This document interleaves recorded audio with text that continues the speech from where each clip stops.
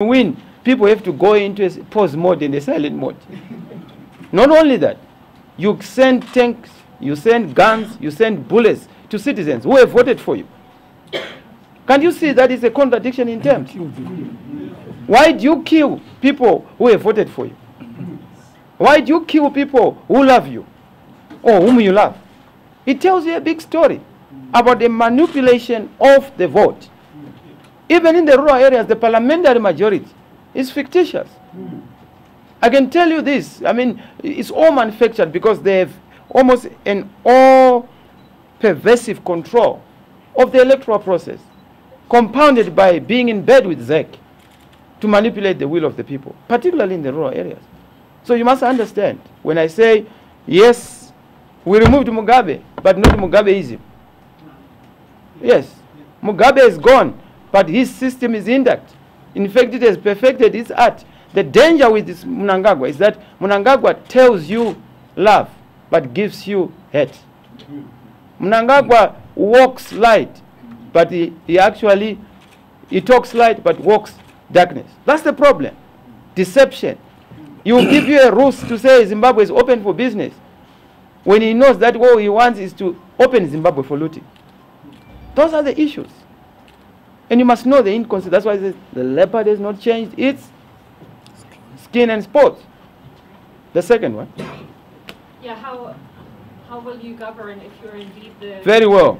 Governing does not need parliament. I will govern very well. Government does not need parliament. No, does not need a majority in parliament. Don't you want to change laws? Don't you want to... When you want to then change legislation, you then have to go into some pacts to make sure that certain legislation passes. So you would not do any power sharing if you were the president? You would do idea sharing. Thank you. There are journalists who've just come in here. Anybody has a question on this side? no? Okay.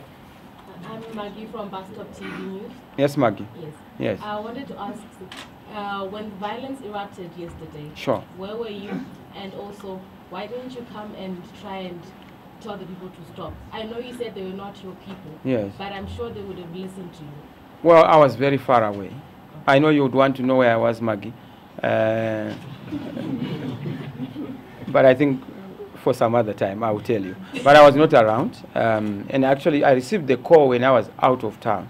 And I just had to respond. I tried to then check who was on the ground. But clearly, it was not an MDC program.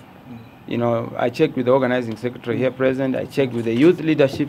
It was not an MDC organized program. Because when we are organizing programs, we don't do it nicodemously or surreptitiously. We give due notice and we don't use violence. We use peace. We have demonstrated before, we have done it before. We don't believe in violence.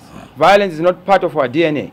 But if you check the DNA of ZANU PF, violence is part of their national anthem, is their art. They believe that violence is a way and a tool of dealing with issues. Why would you open fire on innocent civilians? Who opened that fire? Who gave that instruction? Who is the commander in chief? Why was that allowed? Has that person been arrested? What are they doing to account for the loss of life? The sanctity and dignity of humanity and human life is so important. Okay, thank you, sir. Thank you. Right. Right? Uh, thank you very much. I just wanted to have more time with journalists today because I felt that uh, I had not given enough time. But thank you very much. You know, you are great. You have been wonderful in your reporting. Uh, I want to thank you very, very much. Uh, we've appreciated your reporting. You know, we wish we could have all of you here in Zimbabwe all the way through. I think Zimbabwe will be a better country. Thank you very much.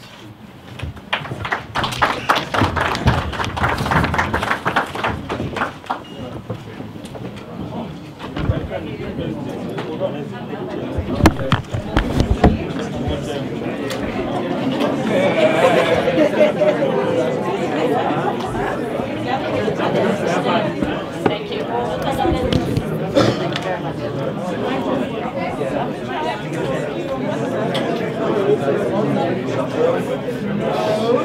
Sorry, you know,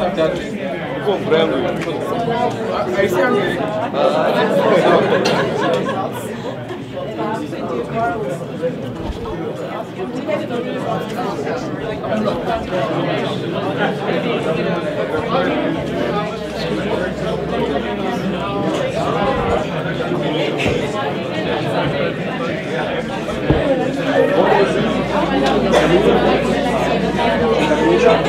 Camille,